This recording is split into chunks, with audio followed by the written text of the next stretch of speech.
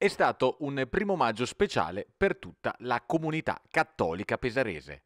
Proprio nel giorno dedicato ai lavoratori è cominciato il ministero religioso di Sandro Salvucci come nuovo arcivescovo metropolita di Pesaro è cominciato dopo 18 anni di carica ecclesiastica ricoperta da Monsignor Piero Coccia, che ieri ha officiato in Duomo la cerimonia dell'ordinazione e l'inizio del ministero pastorale per l'imposizione delle mani alla presenza dei vescovi ordinanti Rocco Pennacchio e Armando Trasarti.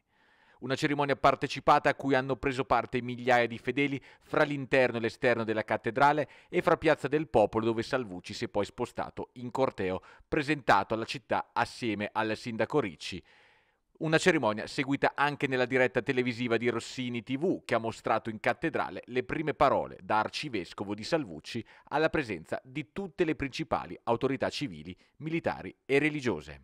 Oggi è stata una giornata speciale perché ho vissuto concretamente eh, il distacco, per così dire, no? dalla, dalla mia terra dove sono vissuto tutta la vita dove ho svolto il mio servizio, il mio ministero eh, sacerdotale in 29 anni.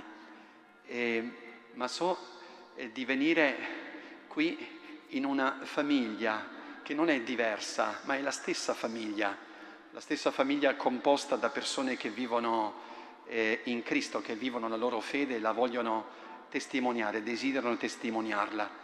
E quindi sono qui per condividere con voi la passione per il Vangelo, l'amore per la Chiesa, l'amore per la comunità, la passione per l'uomo. Che cosa vi posso dire? Sento che quello che stiamo vivendo è una esperienza di Chiesa, di fede che percorre il tempo e, fino, e corre fino all'eternità. Parole di un vescovo che prima di tutto si sente parroco e che ha dichiarato la prosecuzione a Pesaro della sua missione pastorale dopo 29 anni trascorsi nella comunità fermana di Montegranaro. Sandro Salvucci ha scelto il motto Maior est Caritas, la più grande di tutte, e la carità, come stemma che verrà fisso all'ingresso di tutte le chiese della diocesi.